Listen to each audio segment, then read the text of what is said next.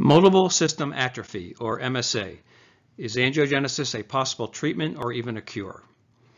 Multiple system atrophy is a neurodegenerative disease which affects primarily the central nervous system in a progressive and relentless manner. It is not known what causes this disease, and there are no effective treatments to halt or reverse this disorder. The average time of survival from the time of diagnosis is eight years.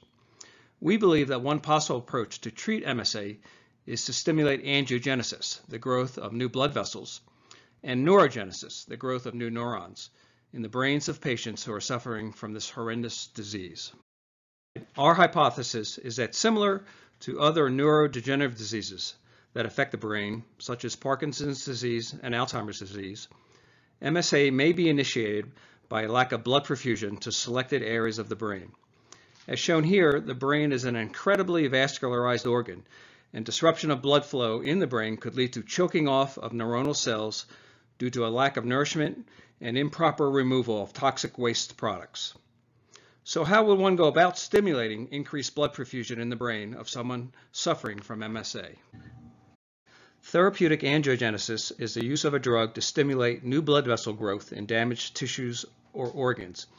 And therapeutic neurogenesis is the stimulation of new neuron growth.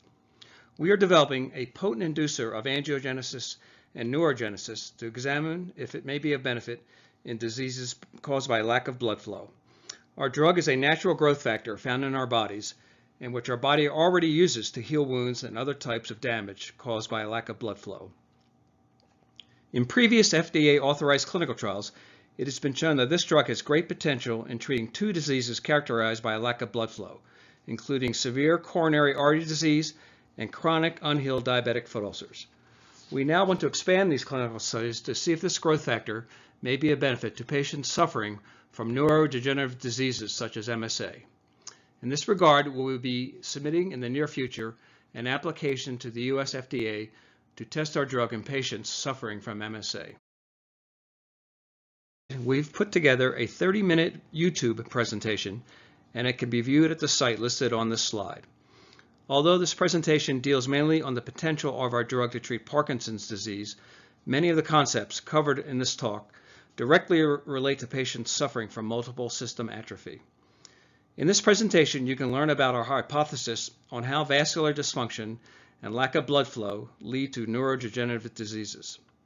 The presentation also has information and a video on the successful clinical trial that was carried out with this drug in patients with severe coronary artery disease. Finally, on this last slide, if you, a friend or family member may be interested in participating in our planned upcoming MSA clinical trial, please register with us at this website or by calling the number on this slide. By registering with us, we can keep you updated on our progress and the timing of key events, including the start of our FDA-cleared clinical trials.